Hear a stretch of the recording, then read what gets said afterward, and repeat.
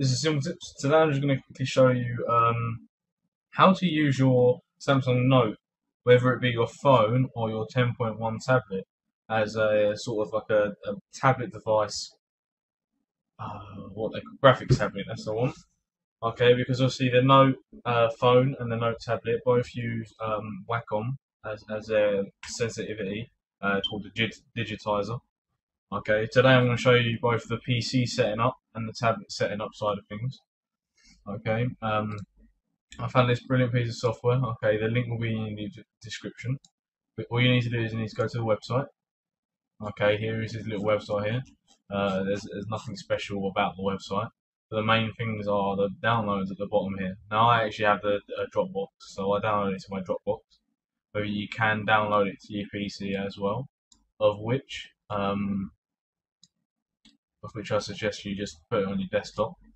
Now this you're going to need to extract, okay, but for now I'm just going to open it so you can see what's inside. You will have an application, a .exe file. Now this, um, I'd say keep on your desktop, okay, and just make sure you don't delete it, because this isn't a shortcut. It's not an installed application, it just is a self-reliant program that just runs from this application here. Now this um, S-Pen digitizer.apk file is uh, the file you'll use to install on your tablet device. Okay, um, so that's why I installed to my Dropbox, because on my tablet is my Dropbox, of which there I can install it rather than doing it via USB. So put this onto your desktop here. Okay, now run this file. Now it should boot up, and then this here, it will just stay at the bottom. Okay, you just need that minimized, it doesn't really matter. Now, APK file is where I'm going to jump over to my uh, phone. See, I'll edit this all out. So your, your um, load tablet. This is basically just a, a bigger S Pen compared to my standard S Pen. But I'll use the normal S Pen just so you don't think it's something to do with that pen. Okay, so here's your standard S Pen. Um, so what you're going to have to do here, you go to your Dropbox. Okay, find your file, the dot a uh, the the um, S-Pen digitizer dot apk folder file, which is this one here. Now you're not going to be able to install that until you allow installation of unknown apps. So you go to your settings, which I easily do through here, um, to your settings. Now you're going to need to go to personal, and then security, about here.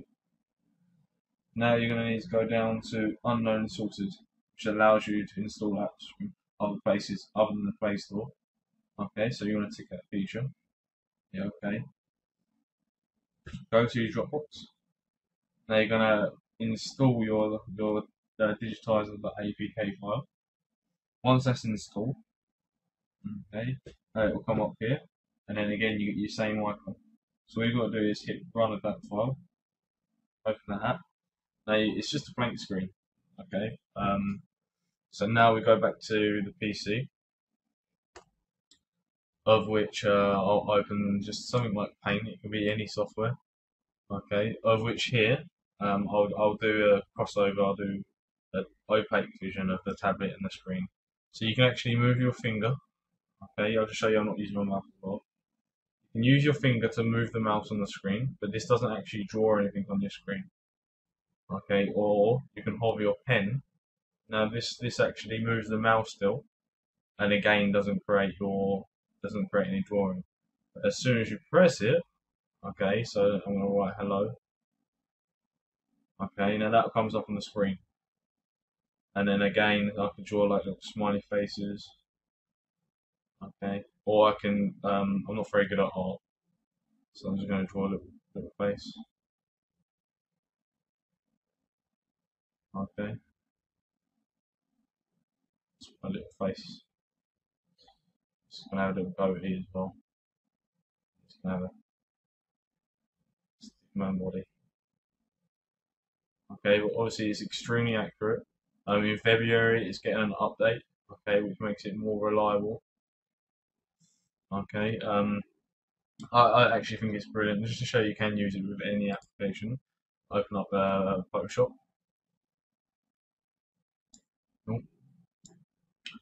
Okay, just control new that. And again, like I said, I'll demonstrate this using the actual thing itself. So I'll go into paintbrush, which is this one here, so paintbrush. Okay, now I don't really want red, so I'm going to go down to red. I'm going to go over to blue. Uh, about there. Okay, and then I'm going to draw something under, also draw now. Um, draw the ocean, some waves.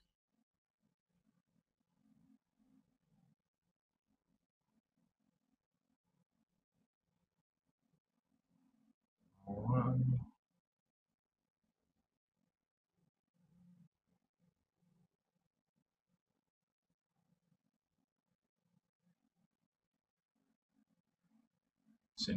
See? Okay, and that's it. That's pretty much it. We'll just set up. Okay, yeah. Um, it doesn't matter what edition of uh, your tablet uh, is on. Obviously, I've got the new Jelly Bean update now. Uh, yeah, I'm from the UK. Okay. Um, thank you very much. Goodbye.